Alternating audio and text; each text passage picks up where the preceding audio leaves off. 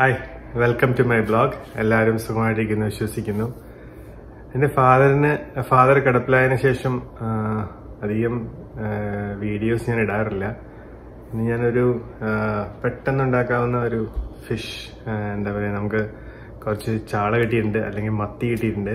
അപ്പോൾ അതൊന്ന് നമുക്ക് ക്ലീൻ ചെയ്ത് നമുക്കൊന്ന് അടിപൊളി ആയിട്ട് ഫ്രൈ ചെയ്തെടുക്കാം. നമ്മുടെ മത്തി അല്ലെങ്കിൽ ചാള ഒന്ന് ക്ലീൻ ചെയ്തെടുക്കണം. ചാളയൊക്കെ നന്നായിട്ട് വെട്ടി ക്ലീൻ ചെയ്തെടുത്തിട്ടുണ്ട്. നല്ല നെയ്യുള്ള ചളയാണ്. കുറച്ച് ഉപ്പ്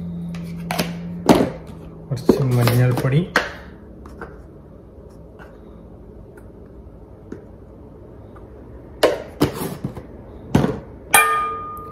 മുളക് പൊടി. എരിവിന് ആവശ്യ- ആവശ്യാനുസരണം കേട്ടോ നമ്മൾ ഞങ്ങൾക്ക് അധികം മുളകൊന്നും വേണ്ട. അതിനകത്തേക്ക് ഞാൻ കുറച്ച് ഗാർലിക്കിന്റെ പൗഡർ ഇടുന്നുണ്ട്.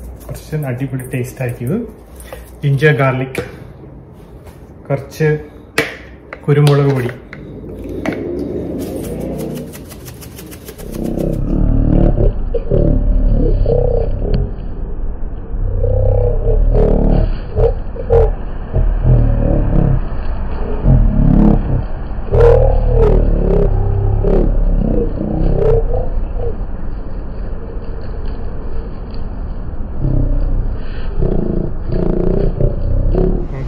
വറക്കാനിടാം